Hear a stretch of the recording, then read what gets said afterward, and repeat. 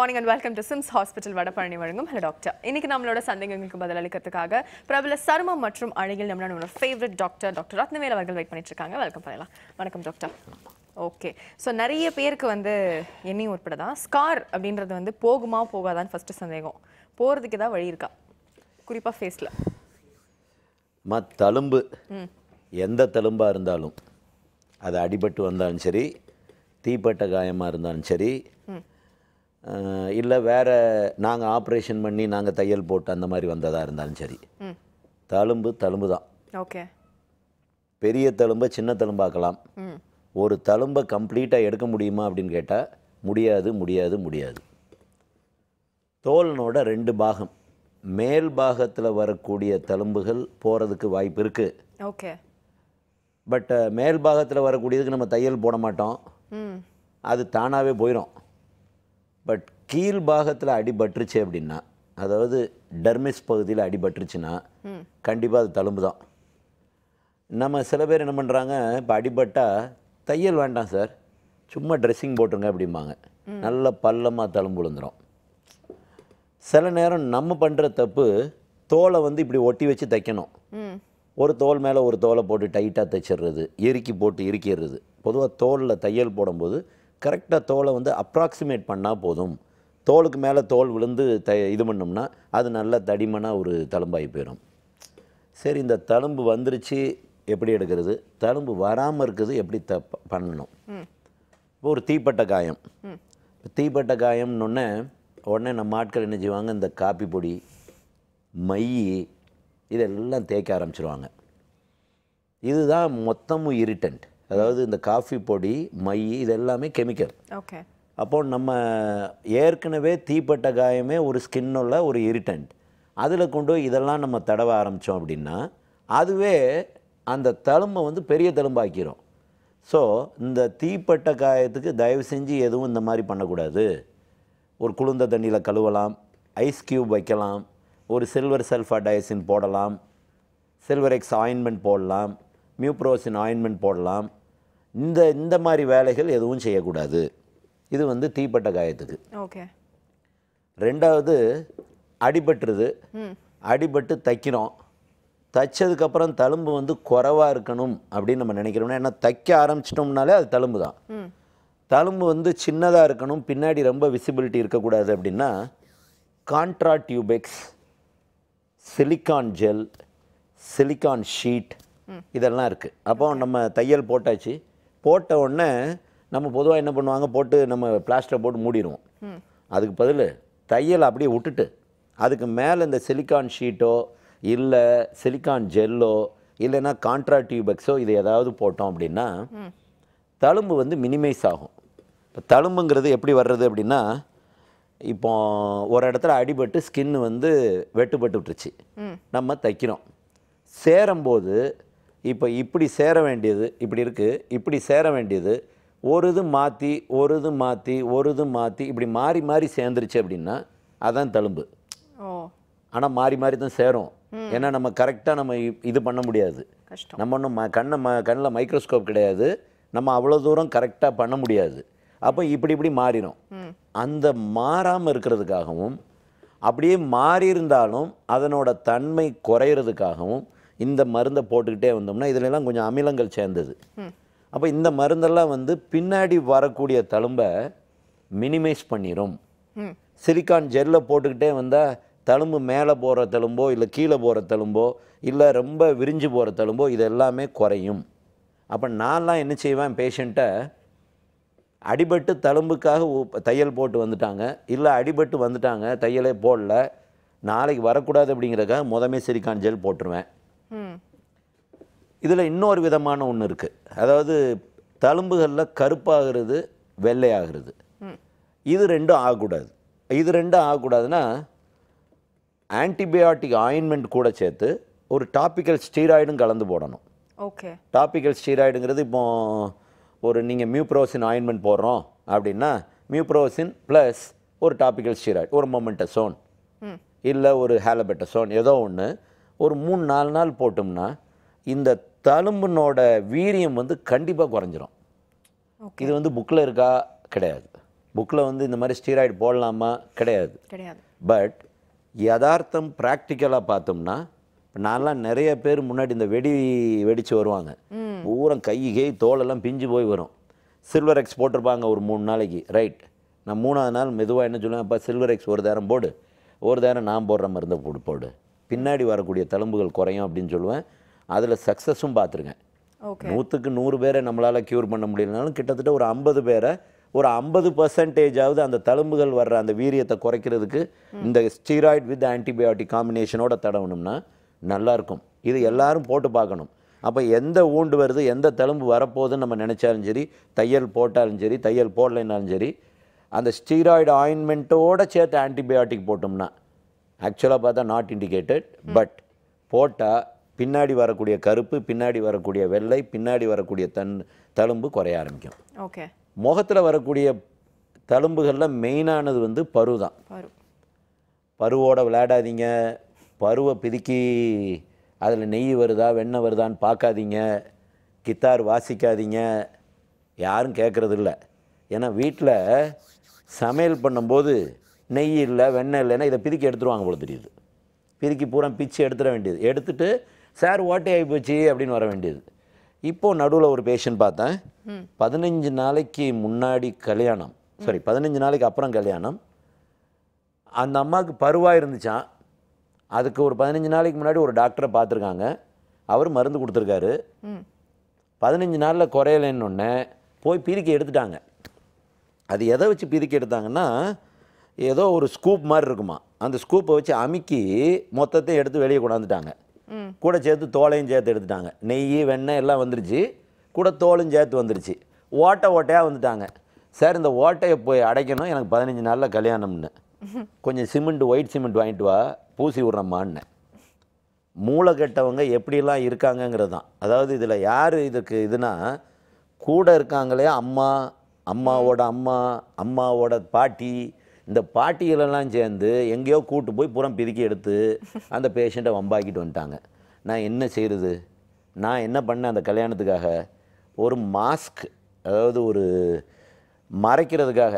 வீட்டுக்காரன்ட்டையும் மறைக்கணும் கல்யாணம் பண்ணுறவன்ட்டையும் மறைக்கணும் அவனோட அம்மா அப்பாட்டையும் மறைக்கணுங்கிறதுக்காக ஒரு கேமஃப்ளாஜ் ஒரு க்ரீமை தடவி பவுடரை போட்டு அந்த கல்யாணத்துக்கும் போயிட்டு வந்துட்டேன். அது சரியாகிறதுக்கு இன்னும் ஆறு மாதம் ஆகும். அது வரைக்கும் அவள் இனி ராத்திரி பூரா இதை தடவிக்கிட்டே தான் இருக்கணும். இல்லைன்னா அவன் பார்த்தான்னா மிரண்டு போயிடுவான். இதுண்டா கிணறு மாதிரி இருக்கே அப்படின்னு. அவ்வளோ தூரம் பிதுக்கி எடுத்துட்டு கொண்டாண்டாடாமா நல்ல பெரிய பருவாக இருந்திருக்கு. அதாவது பருவை தொடாதீங்க தொடாதீங்க தொடாதீங்க தொடாதீங்க. பருவோட விளையாடாதீங்க விளையாடாதீங்க விளையாடாதீங்க. ஆனால் என்ன சொன்னாலும் இவங்க விளையாடுவாங்க. சரி விளையாண்டு தழும்பு வந்துருச்சு. தழும்பு வந்ததுக்கப்புறம் என்ன செய்யலாம்? ஒன்று கெமிக்கல் பீலிங் ஸ்கின்னை வந்து மேலே இருக்க ஸ்கின்னை எடுத்துகிட்டு புது ஸ்கின் வளர விடுறது. மைக்ரோ டர்மப்ரேஷன் ஒரு வைரத்தை வச்சு லைட்டாக சுரண்டி விடுறது. டர்மா ரோலர் நீடில் வச்சு லைட்டாக சுரண்டி விடுறது. டர்ம் அப்ரேஷன் ஸ்கின்னை பூரா உரிச்சு எடுத்துகிட்டு வேறு ஸ்கின் வளர விடுறது. இல்லைன்னா லேசர். ஓகே. இதெல்லாம் எவ்வளோ percentage cure thirty percentage cure தழும்பு வந்துட்டா தழும்பு தான் எந்த தழும்பையும் கடவுளாலையும் எடுக்க முடியாது. நான் கடவுள் இல்லை.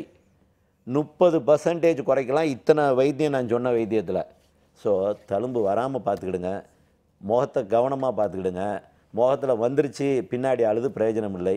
அதுக்கு வேறு வழியே இல்லைன்னா காஸ்மெட்டிக் கேமஃப்ளாஜ் டெர்மா கலர்னு ஒரு க்ரீம் இருக்குது இந்த க்ரீமை மேலே தடவிட்டு பவுடரை போட்டிங்கன்னா அங்கே என்ன இருந்தாலும் தெரியாது.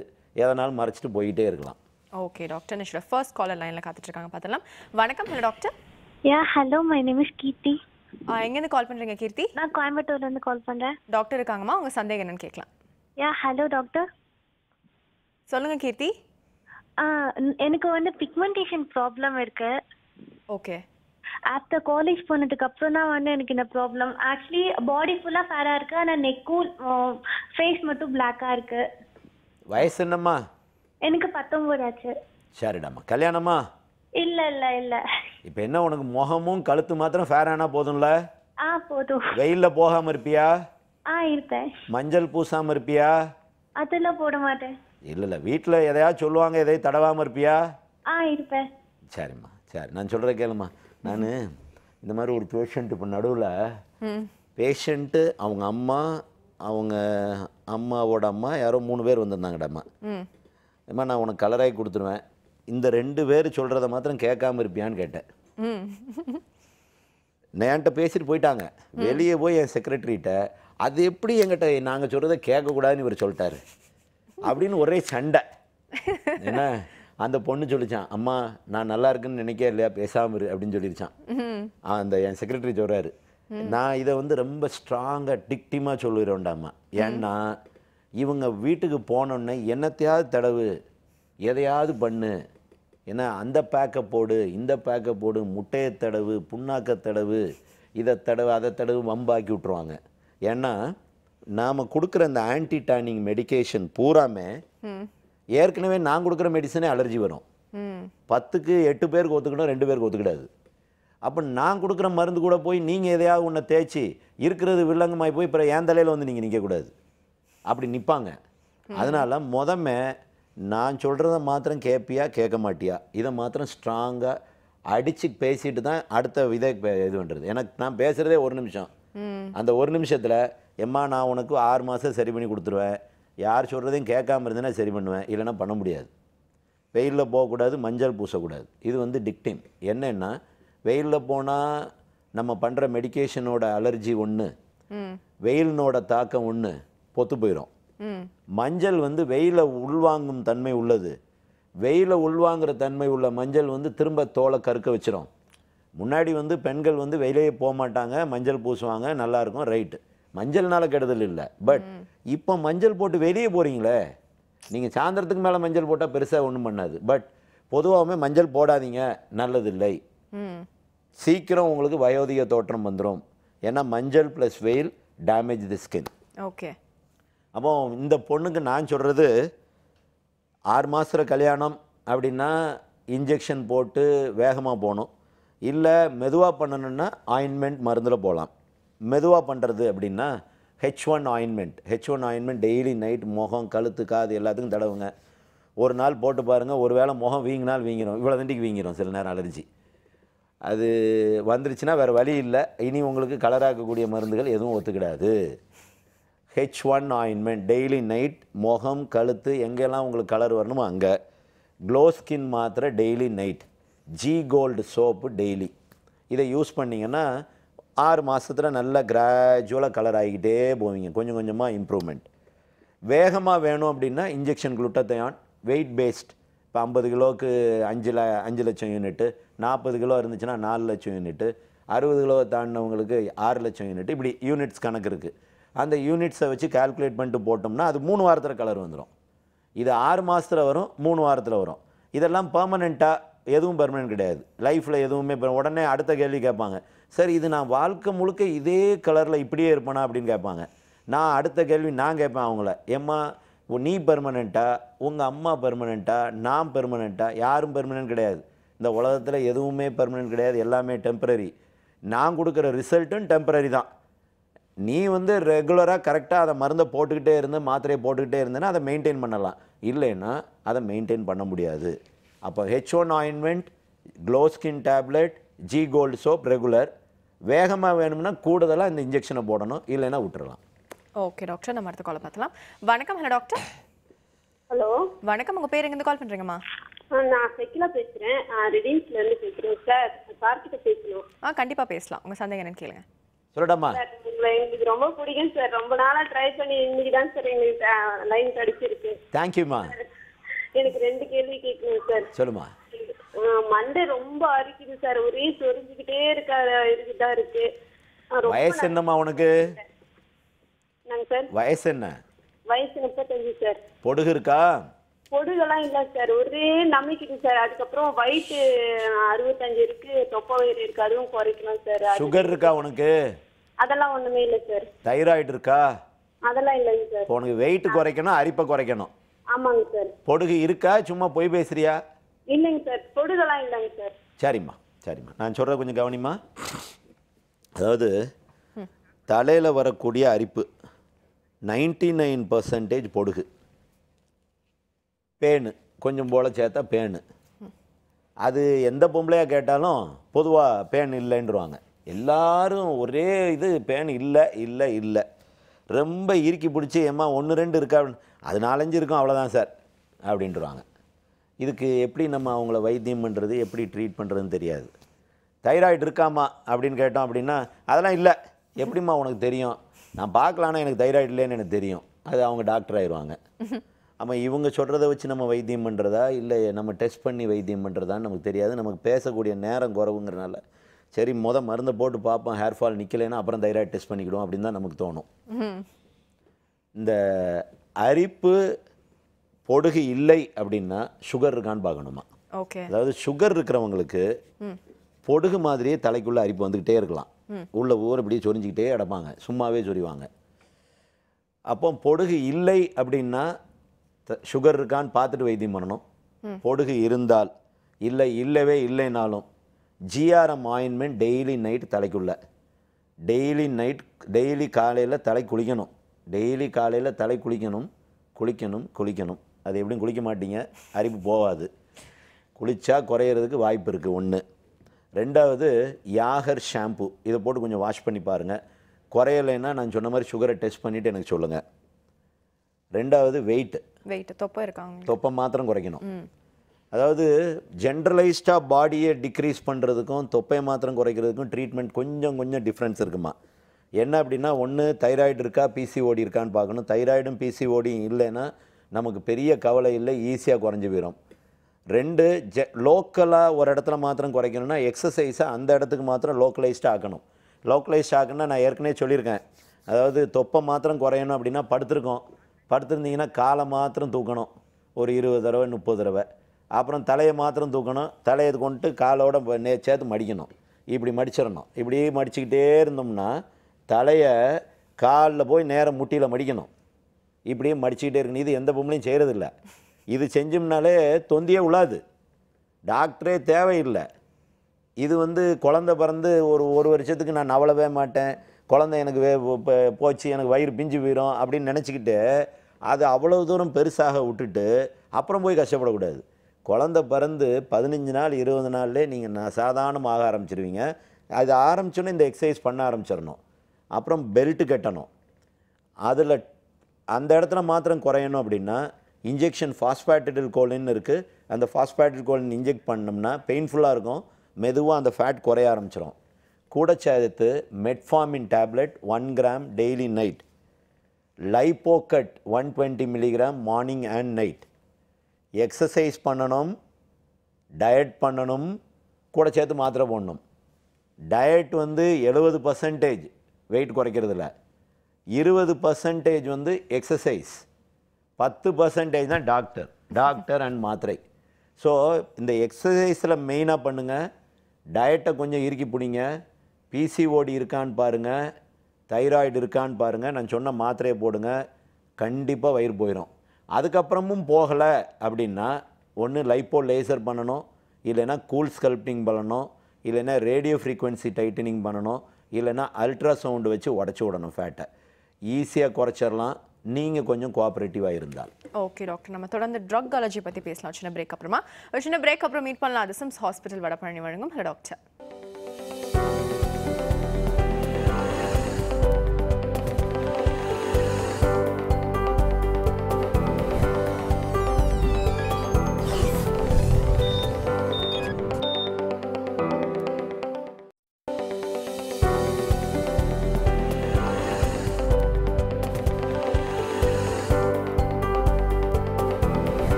வெல்கம் பேக் இது சிம்ஸ் ஹாஸ்பிட்டல் வடபழனி வழங்கும். Hello doctor okay doctor drug allergy பத்தி சொல்லுங்க. நிறைய பேருக்கு இந்த தேங்காய் மங்காய் பட்டாணி சுண்டல் மாதிரி நிறைய பொருட்கள்ல வந்து இருக்கும். அண்ட் டாக்டர்ஸ் கொடுக்குற சில மெடிசன்லயும் இருக்கும். ட்ரக் அலர்ஜி எந்த மாத்திரைக்கும் அலர்ஜி வரலாம்?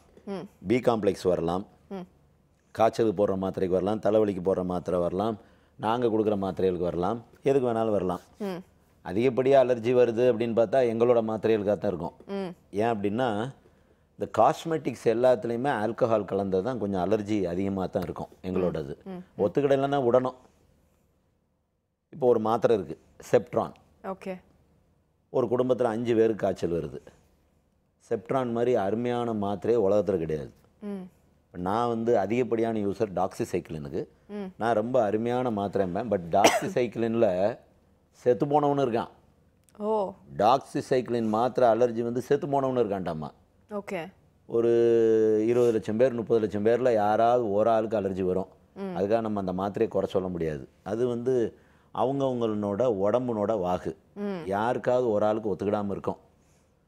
இந்த செப்ட்ரான் இல்லைன்னா டாக்ஸிசைக்ளின் வீட்டில் பத்து பேர் இருக்காங்க பத்து பேர் காய்ச்சல் வருதுன்னா பத்து பேருக்கு செப்ட்ரான் கொடுக்குறோம். இல்லை பத்து பேருக்கு டாக்ஸிசைக்ளின் கொடுக்குறோம். யாருக்கா ஒரு ஆளுக்கு அலர்ஜி வரலாம். அலர்ஜி வந்துட்டால் டாக்டர் மேலே தப்பு இல்லை. டாக்டருக்கு அலர்ஜி இருக்குமா இவங்களுக்கு அலர்ஜி வருமானலாம் தெரியாது. அலர்ஜியே வரக்கூடாத மாத்திரைகள்னு எங்கேயுமே எதுலேயுமே கிடையாது. எல்லா மாத்திரைகளுக்கு வரலாம். அப்போ டாக்டரே பார்க்கக்கூடாது எந்த வைத்தியம் பண்ணக்கூடாது. அப்போ அலர்ஜி வராது. சரியா? இல்லை சுத்தமாகவே எனக்கு அலர்ஜியே வரக்கூடாது எதுலேயும் வாங்கக்கூடாதுன்னா நம்ம வெயிலே போகக்கூடாது. வெயிலில் அலர்ஜி வரும். காற்றை சுவாசிக்கக்கூடாது காற்றுல அலர்ஜி வரும். சோறை திங்கக்கூடாது சோறில் அலர்ஜி வரும். அதை மாதிரி தான் இதுவும் ஒரு கெமிக்கல் வந்து அதனோட அலர்ஜி வரலாம். என்ன மாதிரி வரலாம்? தண்டு தண்டாக வரலாம். அரிப்பாக பட்டப்பட்டையாக வரலாம். உதடு வீங்கலாம். யூரின் போகிற இடம் பூரா புண்ணாகலாம். இப்படிலாம் வந்தால் அரிப்பு வர்ற மாதிரி இருக்குது இந்த மாத்திரை சாப்பிட்டோன்னே அப்படின்னா அந்த மாத்திரையை நிப்பாட்டிடணும். ஒரு மருந்து போட்டுட்டு இருக்கோம். ஒரு ஆயின்மெண்ட் நான் கொடுத்துருக்கேன். ஹெச் ஒன் ஹெச்கியூ ஒன் ஏதாவது கொடுத்துருக்கேன். நிப்பாட்டிடணும். நிப்பாட்டிட்டு ஒரு அவில் மாத்திரை ஒரு பெட்னிசால் மாத்திரை. அவில் பெட்னிசால். ரெண்டு மாத்திரையும் வாங்கி போட்டோம்னா பத்து நிமிஷத்தில் அலர்ஜி போயிடும் மருந்தை கொண்டுட்டு டாக்டர்கிட்ட போய் சார் இதில் ஏதோ ஒன்று அலர்ஜி வருது. இதில் எது வருதுன்னு பார்த்துட்டு நீங்கள் மாற்றுங்கன்னா மாற்றி கொடுத்துருவோம். ஓகே. அந்த ஒரு டோஸ் போட்டு அலர்ஜி வந்துச்சு திரும்ப அதை போடுவோம் போட்டோம்னா தான் ப்ராப்ளம் கூடுதலாக வரும். அப்போ நமக்கு எந்த மாத்திரை அலர்ஜி வருதோ அந்த மாத்திரை அதுக்கப்புறம் லைஃப்பில் போடக்கூடாது. ஏன்னா சில வகை மாத்திரைகள் என்ன பண்ணும்? அங்கங்கே கருப்பு கருப்பாக திட்டு திட்டாக வந்துடும் திரும்ப ஒரு தடவை போட்டால் அதே திட்டுலேயே திரும்ப அதே அலர்ஜி வரும். அப்போ ஒரு மாத்திரை அரிப்பு வருது. ஒரு மருந்து நமக்கு ஒத்துக்கிடலை. விட்டுட்டு அன்னைக்கு ராத்திரிக்கு இல்லை அன்னைக்கு பகலுக்கு இந்த அவிலும் பெட்னிசாலும் போட்டுட்டு மருந்தெல்லாம் நிப்பாட்டிட்டு நீங்கள் எந்த டாக்டரை பார்த்தீங்களோ அதே டாக்டர்கிட்ட கொண்டு போய் கொடுத்தீங்கன்னா அவர் அதை மாற்றி கொடுத்துருவார். டாக்டர் மேலே தப்பு இல்லை. இது வந்து உங்கள் ஸ்கின் வந்து நான் தான் ஏற்கனவே சொன்னேன் பத்து பேருக்கு காய்ச்சலுக்கு மாத்திரை கொடுக்குறோம். யாரோ ஒரு ஆளுக்கு அலர்ஜி வருது ஒம்பது பேருக்கு வரல ஏன் வரல? அவங்க உடம்புக்கு ஒத்துக்கிடுது உங்கள் உடம்புக்கு ஒத்துக்கல. உங்கள் உடம்புக்கு ஏன் ஒத் ஒத்துக்கலைங்கிறது யாருக்கும் தெரியாது.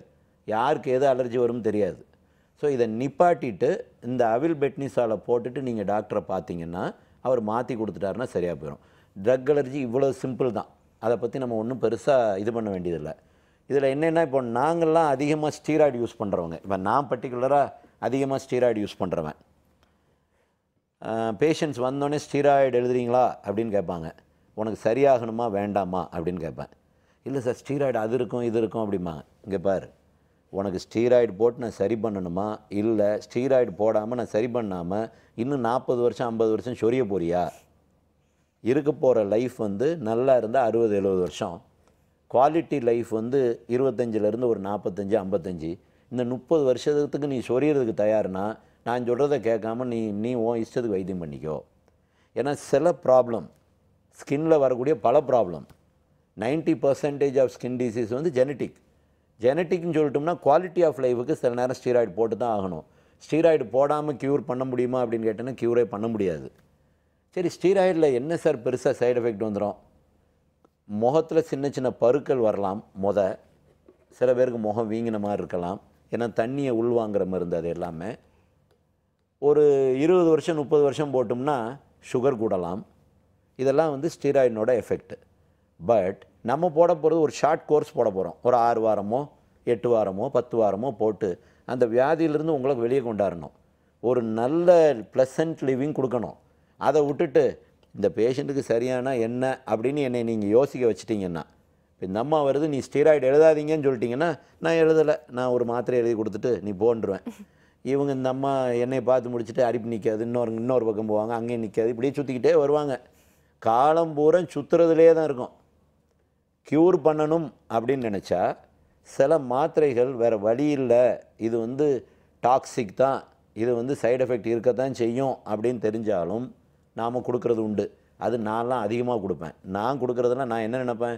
முதல் ஸ்ட்ராங்காக போயிடணும் அப்புறம் மெதுவாக குறைச்சிடணும் முதையே இப்போ லைட்டாக போயிட்டோம் அப்படின்னா அதுக்கப்புறம் கூட்டும் போது பேஷண்ட்டுக்கு அந்த மருந்தினோட டாக்ஸிசிட்டி தாங்க முடியாது. வியாதி வேகமாக இருக்கும்போது வேகமாக வைத்தியம் பண்ணிட்டு வியாதி குறைய குறைய குறைய அந்த மருந்துகளை குறைக்கணும். அப்போ ஸ்டீராய்டை பற்றி பயப்படக்கூடாது. இந்த ட்ரக்கில் பொதுவாக எங்களை பார்த்து பயப்படுறது இந்த ஸ்டீராய்டை பற்றி தான். ஆன்டிபயோட்டிக் நான் சொல்லிட்டேன். அந்த அலர்ஜி வந்தால் என்ன செய்யணும்னு. ஓகே டாக்டர் நிஷோட அடுத்த காலர் லைன்ல வெயிட் பண்ணிட்டு இருக்காங்க. பார்த்தலாம். வணக்கம். Hello doctor. வணக்கம். உங்க பேர் எங்கேருந்து கால் பண்றீங்கம்மா? ஜெயசக்தி பேசுறேங்க. வெள்ளூர்ல இருந்து கால் பண்றேன். டாக்டர் இருக்காங்கம்மா. சந்தேகம் கேட்கலாம்.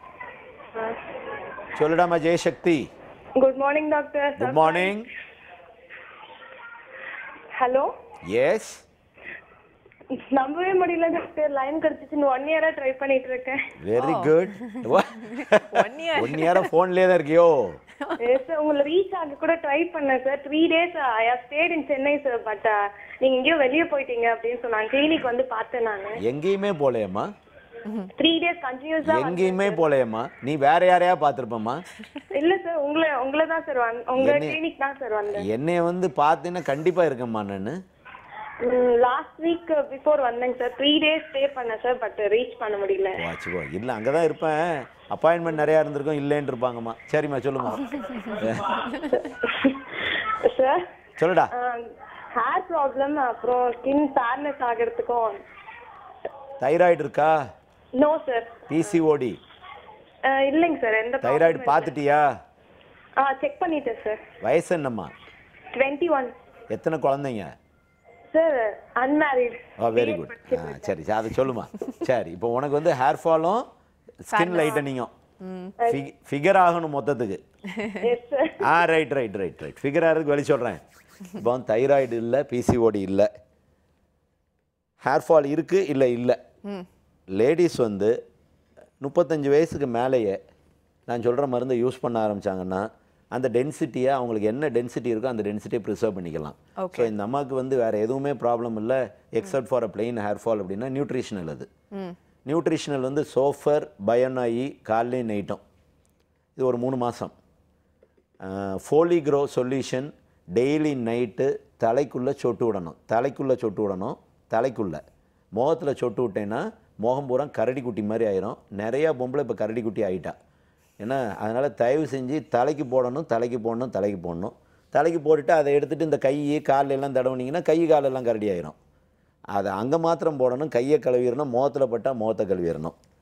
ராத்திரி ஃபோலிக்ரோ காலையில் சீக்கிரம் மண்டை முடி பூரான் இந்த டேப்லெட் போட்டேன்னா இன்வேரியபிளாக நின்றுமா. மூணு மாதம் கழித்து மாத்திரையை நிப்பாட்டிட்டு ஃபோலிக்ரோவும் சீக்கிரவும் மாத்திரம் கண்டினியூ ஃபோலிக்ரோ சீக்கிரம் வந்து லைஃப் லாங் போடலாம் உன்னை ஒன்றும் செய்யாது. போட்டுக்கிட்டே இருக்க வேண்டியதான். Continue continue continue but regular regular regular சின்சியராக பண்ணால் இன்றைக்கி இருபத்தோரு வயசில் இருக்கிற முடி நாற்பத்தஞ்சு வயசு ஐம்பது வயசு ஐம்பத்தஞ்சு வயசில் இருக்கும். ரெகுலராக போடணும். இப்போ நான் போட்டுக்கிட்டு இருக்கேன். எனக்கு வந்து எங்கள் அப்பா பால்டு எங்கள் அப்பாவோட அப்பா பால்டு நான் பால்டு ஆகக்கூடாதுங்கிறதுக்காக போடுறேன். அது ஒன்று இன்னொரு இன்னொரு ரீசன் வந்து எனக்கு முடி இல்லைன்னா ஏன்ட்ட யார் முடிக்காக வைத்தியம் பண்ண வருவாங்கங்கிறதுக்காக நான் தினம் உட்காந்து ஃபோலிக்கிறவன் மாங்கு மாங்குன்னு தலை ஊரம் தடவுறேன். சரியா? இந்த ஃபோலிக்ரோ சீக்கிரம் வந்து உள்ளே இருக்கிற முடியினோட வேருக்கு நல்லா ரத்தம் கொடுக்கும். ஒன்று ரெண்டாவது நியூட்ரிஷன் நிறையா கிடைக்கும். முடி ஸ்ட்ராங் ஆயிரும் திக் ஆயிரும் டார்க் ஆயிரும். இதை வந்து எல்லோரும் யூனிஃபார்மாக யூஸ் பண்ண ஆரம்பிக்கலாம். ஒரு முப்பது வயசுக்கு அப்புறம் முப்பது முப்பத்தஞ்சு வயசுக்கு அப்புறம் ரெகுலராக எல்லா லேடிஸும் ஜென்ஸும் போடலாம். எல்லா லேடிஸும் லைட்டாக தினமும் போட ஆரம்பிச்சிங்கன்னா நல்லது. ஒன்று. ரெண்டு ஃபேர்னஸ் ஃபேர்னஸ் நான் ஏற்கனவே சொல்லிட்டேன். H one ointment daily night ஒத்துக்கிட்டுதான் முத பாருமா. ஒத்துக்கிடலை அப்படின்னா அதை விட்டுரு ஒத்துக்கிடலை அப்படின்னா எல் ஸ்கின் ஒரு ஆயின்மெண்ட் இருக்குது அதுவும் ஒத்துக்கலைன்னா உன் வாழ்க்கையில் ஃபேர் ஆக முடியாது. Glow skin tablet daily night G gold soap ரெகுலராக யூஸ் பண்ணு. சீக்கிரம் ஃபேர் ஆகணும். சார் எனக்கு பதினஞ்சு நாளில் கல்யாணம் ஒரு மாதத்தில் கல்யாணம் இன்ஜெக்ஷன் குளுட்டத்தைன் இருக்குது குளுட்டத்தைன் போட்டேன்னா மூணு வாரத்தில் கலர் ஆயிடுவேன் ஒரு வருஷம் கலர் இருக்கும் ஒரு வருஷம் கழிச்சு திரும்ப போடணும். ஆறு மாசத்துல கூட போடலாம். இப்போ சினிமா நடிகர்லாம் மூணு மாதத்துக்கு ஒரு தடவை போட்டுக்கிறாங்க. அவங்க படத்துக்கு படம் ஃபேர் ஆகிக்கிட்டே போவாங்க. அதனோட ரீசனே அந்த குளு இன்ஜெக்ஷன் குளுட்டத்தைன் தான். கொஞ்சம் காஸ்ட்லி நான் ரொம்ப காஸ்ட்லி ரெண்டும் காஸ்ட்லி இது காஸ்ட்லி வைத்தியம் தான் இது எல்லாமே. அது என்னோட வைத்தியம் எல்லாமே காஸ்ட்லி தான். ஓகே டாக்டர் அடுத்த காலை பார்த்தலாம். வணக்கம். ஹலோ டாக்டர் ஆ ஹலோ வணக்கம். உங்க பேர் எங்க கால் பண்றீங்கம்மா? என் பேர் கிருத்திகா. நான் சென்னையில இருந்து கால் பண்றேன். டாக்டர் இருக்காங்க கிருத்திகா மேம் சந்தேகம் என்னன்னு கேட்கலாம். Hello doctor. சொல்லு கிருத்திகா. சார் எனக்கு வந்து நான் ஏஜ் வந்து தேர்ட்டி ஒன் ஆகுது. சரிம்மா. இன்னும் கல்யாணம் ஆகல. வெரி குட் பாத்தீங்கன்னா எனக்கு வந்து வெயிட் வந்து பயங்கரமா கெயின் ஆயிட்டே இருக்கு. எனக்கு பாத்தீங்கன்னா ரெண்டாயிரத்தி பத்துல வந்து அறுபத்தி மூணு கிலோ இருந்தேன். அதுக்கப்புறம் ரெண்டாயிரத்தி பன்னெண்டுல அறுபத்தி ஏழு ஆச்சு. இப்போ எழுபத்தி ஏழு ஆச்சு. இதுக்கு நடுவுல பாத்தீங்கன்னா யோகா பண்ணுவேன். ஆனா வந்து எதுவுமே கண்டினியூவா பண்ண முடியல. ஏன்னா நான் நைட் ஷிஃப்ட் பாக்குறதுனால கண்டினியூஸா போக முடியாது. பட் ஆனா குறைக்கணுங்கிற அந்த தாட் இருக்கு. பட் ஆனா குறையவே மாட்டேங்குது. இப்ப புதுசா பெல்ட் கூட வாங்கி வச்சிருக்கேன். என்னென்னலாம் சொல்றாங்களோ எல்லாத்தையும் சொல்லி பா- செஞ்சு பாக்குறேன். ஆனா குறைய மாட்டேங்குது. சாப்பாடை குறைச்சாச்சா? சாப்பாடும் அதான். நைட் ஷிஃப்ட்ங்கிறதுனால எப்படின்னா தான் சாப்பிடுவேன். நைட்ல தான். சாயங்காலம் எழுந்து தான் சாப்பிடுவேன். சாப்பாடை குறைச்சாச்சா? நான் உன்னை நைட் ஷிஃப்ட்டும் கேட்கல பகல் ஷிஃப்ட் கேட்கல சாப்பாடை குறைச்சாச்சா குறைக்கலையா? எனக்கு தெரிஞ்ச வரைக்கும் எனக்கு தெரிஞ்ச டயட் மெயின்டைன் பண்ணிட்டு இருக்கேன் சார் அது உனக்கு தெரிஞ்ச டயட் நீ என்ன பண்ணுவேன்னு எனக்கு தெரியும். சரி ஒன்று இப்போ கல்யாணம் எப்போ? கல்யாணத்துக்கு பாத்துக்கிட்டு இருக்காங்க. இதனாலே நிறைய வரம் தட்டி போகுது. தைராய்டு இருக்கா? தைராய்டு இருக்கா? ஒரு மாசம் முன்னாடி செக் பண்ண தைராய்டு இல்ல. சரி அது கன்ஃபார்ம்டு தானம்மா?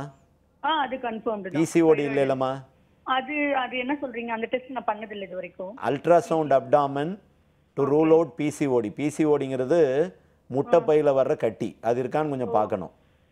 சரியா? சரி அதை கொஞ்சம் பாருங்க. நான் சொல்கிறத கொஞ்சம் கவனிங்க. அதாவது எழுபத்தேழு கிலோ முப்பத்தோரு வயசு எழுபத்தேழு கிலோவில் அப்போ எண்பத்தேழு வய எண்பத்தேழு கிலோ தொண்ணூறு கிலோவில் தான் ஆம்பளை பிடிக்கணும். எங்கே போய் பிடிக்கிறது? அதாவது எல்லாம் வந்து நம்ம நம்ம கையில் தான் இருக்குது நமக்கு தைராய்டு இல்லை நமக்கு பிசிஓடி இல்லை. நம்ம வந்து எனக்கு நான் நைட் டியூட்டி நான் பகல் டியூட்டி என்னால் முடியாது. நான் இர்ரெகுலராக பண்ணுவேன்னா உன் வாழ்க்கையில் வெயிட் குறைக்க முடியாது. இது வந்து சின்சியராக ரிலீஜியஸாக சாமி கும்பிட்ற மாதிரி நினைக்கணும். யாருக்காக பண்ணுறோம் எனக்காக பண்ணுறியா இல்லை இந்த அம்மாக்காக பண்ணுறியா உனக்காக பண்ணுறடாம்மா உன் லைஃபுக்காக உன் உடம்புக்காக நீ பின்னாடி நல்லா இருக்குன்னு நினைக்கிறதுக்காக நாற்பத்தஞ்சு வயசில் நீ நடக்கணும். பாதி பொம்பளை ஐம்பது வயசுக்கு மேலே நடக்க முடியல. திருப்பதி மலையில் நடனா தவண்டு போகிறா நடக்க முடியறதில்ல. ஏன் நடக்க முடியறதில்ல? முப்பது வயசில் நடக்கிறது இல்லை அப்புறம் ஐம்பது வயசில் எப்படி நடப்ப? நடக்க முடியாது. தினம் ஒரு மணி நேரம் எக்ஸசைஸ் ஒரு மணி நேரம் எக்ஸசைஸுங்கிறது சிறுத்த மாதிரி ஓடணும். எப்படி ஓடணும்? சிறுத்த மாதிரி நத்த மாதிரி தவளக்கூடாது. சிறுத்த மாதிரி ஓடணும். ஒன்று இல்லைன்னா ஒரு நூறுரூவாவை பிடிக்க போகிற மாதிரி நூறுரூவா கிடச்சிடும் கிடச்சிடும் ஓடி பிடிக்கிற மாதிரி பிடிக்கணும். அப்படி ஓடினா தான் வெயிட்டு குறையும். ஒன்று சாப்பாடை பாதியாக்கணும். நீலாம் பாதியாக்குறதுல முக்கால்வாசியை குறைக்கணும். வெள்ளையாக இருக்கிற எல்லாத்தையும் நிப்பாட்டணும். வெள்ளையாக இருக்கிற அரிசியை நிப்பாட்டணும். வெள்ளையாக இருக்கிற சீனியை நிப்பாட்டணும். வெள்ளையாக இருக்கிற மைதாவை நிப்பாட்டணும். இதை நிப்பாட்டினாலே பாதி இது க்யூர் ஆயிருண்டம்மா நான் முன்னாடி சொல்கிற மாதிரி சிறுதானியத்துக்கு மாறணும். அப்படியே எனக்கு ரைஸ் தான் வேணும் அப்படின்னா சிறுதானியத்துக்கு மாறணும். சிறுதானியத்துக்கு மாறணும் அப்படின்னா உடம்புக்கு நல்லது மனசுக்கு நல்லது ப்ரோட்டீன் மசிலுக்கு நல்லது போனுக்கு நல்லது பின்னாடி பிரெயினுக்கு நல்லது எல்லாத்துக்கும் நல்லது. சாமை குதிரைவாளி வரகு திணை. இதில் ஏதாவது ஒன்று வச்சு தினம் அதாவது தோசைக்காக இருந்தாலும் சரி இட்லிக்காக இருந்தாலும் சரி சோறுக்காக இருந்தாலும் சரி தயிர் சாதத்துக்காக இருந்தாலும் சரி சாம்பார் சாதத்துக்காக இருந்தாலும் சரி இதெல்லாம் சேர்க்கணும். சரி இதெல்லாம் சேர்த்தா நான் குறைஞ்சிருவேனா? அப்படின்னு கேட்டிங்கன்னா கண்டிப்பாக குறையும். ஆனால் குவான்டிட்டியை கம்மியாக சாப்பிடணும். அதுக்காக இவ்வளோ சாப்பிடுவேன். இவ்வளோ சாப்பிட்டு நான் குறையணும்னா உனக்கு பதில் நான் தான் ஓடணும். நடக்கிறது இல்லை. தினம் ஒரு மணி நேரம் வாக்கிங் சாப்பாடு பேட்டர்னை அப்படியே பாதியாக்கணும். நீ என்ன சாப்பிட்றியோ பாதி. ஒரு காஃபி இருக்குது ஒரு காஃபி வந்து நூறு நூற்றம்பது கேலரி நீ மூணு காஃபி குடிச்சேன்னா நானூற்றம்பது கேலரி ஒரு நாளைக்கு ஒரு நானூற்றம்பது கேலரி எக்ஸ்ட்ரா ஆனால் பதினஞ்சு நாளைக்கு ஒன்றரை கிலோ கூடிருச்சு. அப்போ அந்த காஃபியை கட் பண்ணணும். நட்ஸை விடணும் எண்ணெயில் வறுத்து சாப்பிட்றத விடணும் பிளாண்ட் டயட்டுக்கு போகணும். பெஸ்ட்டு ஃப்ரூட்ஸ் ஃப்ரூட்ஸுக்கு மாறுங்க. கொஞ்சம் வெஜிடபிள்ஸ் இது பண்ணுங்க. ராத்திரிக்கு ரெண்டு சப்பாத்தி சாப்பிடுங்க. இதை சாப்பிட்டீங்கனால கண்டிப்பாக குறைஞ்சிருவாம்மா. இது வந்து உன் கையில் மாத்திரம்தாம்மா இருக்குது நான் பார்த்து ஒன்றுமே செய்ய முடியாது. நான் இப்போ உனக்கு எழுபத்தேழு கிலோவை நான் என் ஊசி போட்டோ மாத்திரை போட்டோ நான் ஐம்பத்தஞ்சு கிலோ கொண்டாந்துருவேன். கரெக்டாக அடுத்த மூணு மாதம் திரும்ப எழுபத்தேழு ஓடிடுவேன் நீ ஒழுங்காக இருப்பேன்னு சொன்னால் தான் இதுக்கு வைத்தியம். ஒழுங்காக இல்லைன்னா வைத்தியம் இல்லை. மெட்ஃபார்மின் டெய்லி நைட் ஒன்று போடு. கூட சேர்த்து லைப்போக்கட் மார்னிங் அண்ட் நைட் போடு. டயட்டை இறுக்கி பிடி. தினம் ஓடு. நல்லாயிருவேன். ஓகே டாக்டர் நம்ம தொடர்ந்து பேசலாம். சின்ன பிரேக் அப்புறமா. ஒரு சின்ன பிரேக் அப்புறம் மீட் பண்ணலாம். அது சிம்ஸ் ஹாஸ்பிட்டல் வடபழனி வழங்கும். ஹலோ டாக்டர்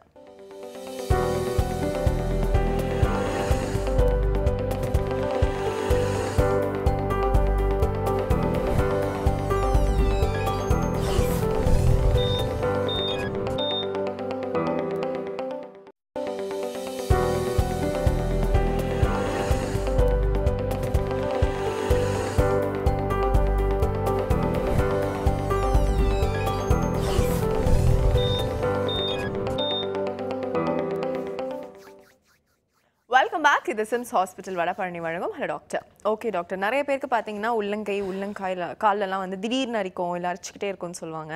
அதுக்கு நம்ம பெரியவங்க வேற விஷயம் சொல்லுவாங்க பட் மெடிக்கலான ரீசன் எது பெரியவங்க என்ன சொல்லுவாங்க? பெரியவங்கலாம் வந்து உள்ளங்கையில் அரிச்சிச்சு அப்படின்னா நிறைய பணம் வரும் அப்படின்னு சொல்லுவாங்க. உள்ளங்கையில் அரிச்சா லவ்வரா வருவாங்கம்மா. உள்ளங்காலில் அரிச்சிச்சுன்னா ஐயோ பொண்டாட்டியா வருவா. பொண்டாட்டியா வருவாங்க பொண்டாட்டி வருவான்னு இப்படி குடிஞ்சிடணும் உள்ளங்கையில் சொரிஞ்சா ஆ லவ்வரா வருவாங்கன்னு ஒரே சந்தோஷமாயிடும். நீங்க ஒரு மீனிங் கொடுத்துருக்கீங்க. மெடிக்கலா என்ன டாக்டர் ரீசன் அது வந்துமா அட்ரிகேரியான்னு ஒரு டிசீஸ் அட்ரிகேரியா எப்படி உடம்பெல்லாம் தடிப்பு தடிப்பா வரும் சில பேருக்கு பட்டை பட்டையா வரும் சாட்டை சாட்டையா வரும் ஏன்னு எழுதுனா ஏன்னு இருக்கும் பீன்னு எழுதுனா பீன்னு இருக்கும். அது வந்து ஜென்ரலா வரக்கூடிய அட்ரிகேரியா. சில மார்கழி பேர் மாசம் வந்தாலே அந்த மாதிரி ஆமா டாக்டர் அது அது அது வேற. இது வந்து சில பேருக்கு இந்த கையில உள்ளங்கையில மாத்திரம் அரிக்கும். உள்ளங்கால்ல மாத்திரம் இருக்கும் அதுவும் ஒரு ஒரு டைப் ஆஃப் அட்ரிகேரியா தான். ஓகே. அட்ரிகேரியாக்கு காரணம் ஒன்று சாப்பாடுல அலர்ஜி நம்ம உபயோகப்படுத்துகிற பொருட்கள் அலர்ஜி அலர்ஜி டெஸ்ட் பண்ணணும். என்ன அலர்ஜின்னு கண்டுபிடிக்கணும். அந்த அலர்ஜி ஆறு மாதம் போடணும். ஆறு மாதத்துக்கு மாத்திரை போடணும். மாத்திரை வந்து லியோசெட்ரிசின் லீ மாஸ்னு ஒரு மாத்திரை இருக்குது டெய்லி நைட் போட்டோம்னா ஒரு ஆறு மாதத்துல கண்ட்ரோல் ஆயிரும்.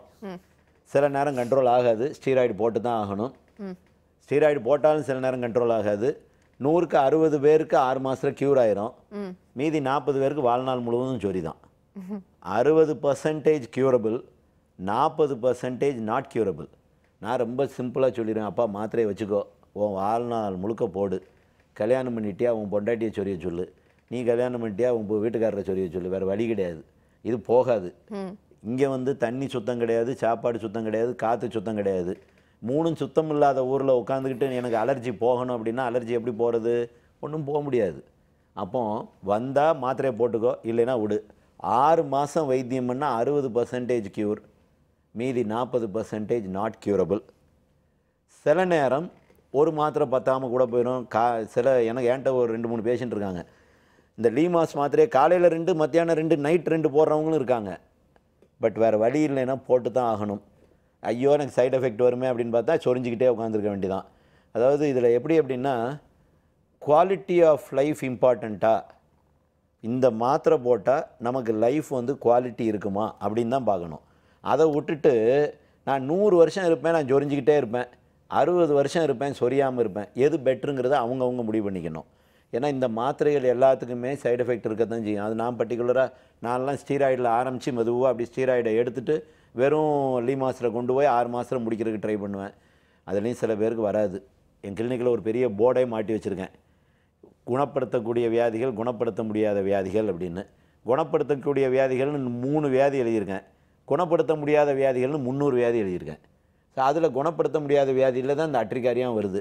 பட் ஆறு மாசத்துல சில பேருக்கு போயிடுது சில பேருக்கு போகிறதில்ல ஓகே டாக்டர் நிஷோட அடுத்த காலை பார்க்கலாம் வணக்கம் ஹலோ டாக்டர் ஹலோ வணக்கம். உங்க பேர் எங்க கால் பண்றீங்கம்மா? என் பேர் பிரியா. சென்னையில இருந்து பேசுறேன். டாக்டர் இருக்காங்க பிரியாமா சந்தேகம் என்னன்னு கேட்கலாம். ஹலோ டாக்டர் சொல்லுடா பிரியா. டாக்டர் எனக்கு வந்து இப்போ ஃபோர் மந்த்ல பேபி இருக்கா? சரிம்மா. எனக்கு ரெண்டு டவுட் கேட்கணும். ஒன்னு வந்து என்னன்னா அவளோட ஸ்கின்ல வந்து அந்த பிங்க் பிங்கா அந்த பொறு பொறு பொறுன்னு இருக்கு அவ ஸ்கின்ல அவளோட செகண்ட் மந்த்ல இருந்து இருக்கு. சரி. ஸோ பீடியாட்ரிஷன் என்ன சொன்னாங்கன்னா யூஸ் பண்ணிட்டு இருக்கிற ப்ராடக்ட் வந்து சேஞ்ச் பண்ணி பார்க்க சொன்னாரு. ஸோ நான் அது இப்போ சேஞ்ச் பண்ணிட்டேன். நம்ம ஸ்கின் ட்ரையாக இருக்கா? ஆ ட்ரை ஸ்கின் தான் அவளுக்கு. உனக்கு உனக்கு. எனக்கு ஆ லைட்டா ரொம்ப ட்ரை ஸ்கின் கிடையாது டாக்டர் உங்கள் அம்மா அப்பா தாத்தா பாட்டி? அவருக்கு ட்ரை ஸ்கின் தான். அப்- ஆ, என்னோட ஹஸ்பண்ட்க்கு அதனால தான் வருதுமா சரி ம். அப்படிங்களா? ம். ஏன்னா அதுதான் அவர் மாத்தி பார்க்க சொல்றாரு. நானும் நிறைய மாத்தி பார்க்கறேன். பட் இவன் தான் அதே இடத்துலயே வருது. அது அவளுக்கு அரிக்குது வேற சம்டைம்ஸ் ஓ சரிம்மா சரிம்மா. நான் மருந்து சொல்கிறேன் அப்புறம்? இன்னொரு டவுட் என்னன்னா இப்போ எனக்கு வந்து ஸ்கின் எப்படின்னா ஈவன் ஸ்கின் கிடையாது. பை பர்த் என்னோட ஸ்கின் வந்து டபுள் கலர் தான். இப்போ பேபிக்கு பாத்தீங்கன்னா லைட்டா அந்த மாதிரி இருக்கிற மாதிரி இருக்கு. அங்கங்க ஒயிட் ஒயிட்டா தெரியுது. அது பேபிக்குன்னு இருக்குமா? இல்ல என்ன என்னோட இதனால அவளுக்கு அப்படி இருக்கா? அப்படின்னு ஒரு டவுட் ஸோ உனக்கு வைத்தியம் பண்ணணும்? உன் பிள்ளைக்கு வைத்தியம் பண்ணணுமா? பிள்ளைக்கு சொன்னா போதும் டாக்டர் உனக்கு வைத்தியம் பண்ண வேண்டாம். இல்ல எனக்கு இப்போ வேண்டாம். எனக்கு இப்போதைக்கு வந்து ப்ரையாரிட்டி அவளோடது. நல்ல நேரம்மா நீ. சரி சரி சரி, விட்டுரு. நான் சொல்கிறேன் கேளு. அதாவது ட்ரை ஸ்கின் வந்து இந்த ஸ்கின் வந்து மொறு மொறுன்னு ஆறுது. தேய்ச்சா சின்ன சின்ன பொடியாக உதிர்றது இதெல்லாமே ட்ரை ஸ்கின் ட்ரை ஸ்கின் வந்து நார்மலாக ஜெனட்டிக் அப்பா அம்மா தாத்தா பாட்டி யாருக்காவது இக்தியோசிஸ் இருக்குது யாருக்காவது மீன் செதில் வியாதி இருக்குது அவங்களுக்கெல்லாம் சொரிஞ்சா இந்த மாதிரி ஆகுது அப்படின்னா குழந்தைங்களுக்கு வரலாம். ஓகே. அப்படிலாம் வந்தால் அதுவும் லைஃப் லாங் தான். மாய்ஸ்சரைஸ் பண்ணிக்கிட்டே இருக்கணும். மாய்ஸ்சரைஸ் பண்ணுறதுக்கு முன்னாடி தோலை வந்து வெட் பண்ணணும். அப்புறம் மாய்ஸ்சரைஸ் பண்ணணும். தோலை வந்து வெட் பண்ணாமல் நீங்கள் நேராக மாய்ஸ்சரைசர் போட்டிங்கன்னா யூஸ் இருக்காது. அப்போ வெட் பண்ணிட்டு போனால் வெறும் தண்ணியை லைட்டாக தடவிட்டு யா மாய்ஸ்னு ஒரு சொல்யூஷன் இருக்குது காலையிலையும் நைட்டும் போட்டுக்கிட்டே வந்தீங்கன்னா இந்த மொறு மொறுன்னு இருக்கிறது சொர சொரன்னு இருக்கிறதெல்லாம் போயிடும் அப்புறம் அவங்களுக்கு ரெண்டு கலர் அவங்க பிள்ளைக்கு ரெண்டு கலர் அவங்களுக்கு ரெண்டு கலர் அந்த ட ஈவன்னஸ் கொண்டாடுறதுக்கு அதாவது வெள்ளையா ஈவன் ஆகணுமா கருப்பாக ஈவன் ஆகணுமா? இப்போ உங்களுக்கு வந்து கருப்பாக இருக்குது வெள்ளையாக இருக்குது வெள்ளை வந்து யூனிஃபார்ம் ஆகணுமா? கருப்பு யூனிஃபார்ம் ஆகணுமா? அதில் ஒன்று இருக்குது ஏன்னா அப்படியும் ரெண்டு மூணு டிசீஸ் இருக்குது அதில். ஓகே. அப்போ வெள்ளையாகணும் இருக்கிற கருப்பு மாத்திரம் போகணும். ஏன்னா நம்ம ஊரில் எல்லாருக்கும் வெள்ளைத்தோல் தான் பிடிக்கும். அதனால் வெள்ளையாகணும் அப்படின்னா அந்த ஹெச் ஒன் ஆயின்மெண்ட்டை மாத்திரம் போடுமா? இது உனக்குமா? உன் பிள்ளைக்கு அப்புறம் வைத்தியம் பண்ணிக்கலாமா? இப்போ போட்டு நான் வெள்ளையை போடுறேன். அவளுக்கு நான் மாப்பிள்ளை பார்க்க போகிறேன் அவளுக்கு நான் இப்போவே மா பொண்ணு பார்க்க போகிறேன் நாலு மாத குழந்த. தயவு செஞ்சு இந்த விலங்குகள் பண்ணாத. உனக்கு பண்ணுற வைத்தியத்தை பண்ணு. நீ இப்போ உன் உனக்கு தான் வைத்தியம் நான் நினச்சா உன் பிள்ளைக்கு வைத்தியத்தை இப்போமே ஆரம்பிச்சிட்ட. உன் பிள்ளைக்கு மாய்ஸ்சரைஸ் மாத்திரம் பண்ணு. உனக்கு ஹெச் ஒன் ஆயின்மெண்ட் போடு ஈவன் ஆயிடுவா கூட்ட கூட சேர்த்து க்ளோ ஸ்கின் போடுமா. ஓகே டாக்டர் பட் குழந்தைக்கு பிங்க் பிங்காக வருதுன்னாங்க. அது அதுக்கு அந்த யாமாய்ஸ்லேயே குறைஞ்சிருண்டா அந்த பிங்க் பிங்காக வர்றதேமா அந்த ட்ரை ஸ்கின்னோட இதுலமா ட்ரை ஸ்கின் வந்து அரிக்க ஆரம்பிச்சிருச்சுன்னா குழந்தை இப்படி சொரியுதுன்னு அந்த இடம் பூரா பிங்க் பிங்காக தான் ஆமா ஆகும். அதுக்கு ரொம்ப வேகமாக ட்ரீட்மெண்ட் பண்ண வேண்டியது இல்லாமல் நாலு மாத குழந்தை நாலு மாத குழந்தையினோட ஸ்கின் வந்து ரொம்ப ஃப்ரெஜைலாக இருக்கும்டாமா. இந்த moisturiser போதும்டாமா. Okay doctor so I think நம்ம எண்ட் ஆஃப் த ஷோக்கு வந்துட்டோம்னு நினைக்கிறேன். எனக்கு ரொம்ப வேரிடான டிஃப்ரெண்டான டாப்பிக்ல நிறைய விஷயங்கள் பேசணும். ஸோ நிகழ்ச்சியில் பார்ட்டிசிபேட் பண்ணதுக்கு ரொம்ப ரொம்ப you. ஸோ இதே மாதிரி அடுத்த சிம்ஸ் ஹாஸ்பிட்டல் வடபழனி வழங்கும் டாக்டர் சந்திக்கலாம். அதுவரை நன்றி வணக்கம்.